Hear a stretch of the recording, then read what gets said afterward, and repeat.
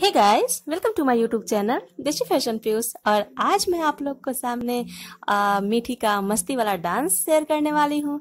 तो वीडियो को लास्ट तक ज़रूर देखिएगा। तो चलिए वीडियो को स्टार्ट करते हैं।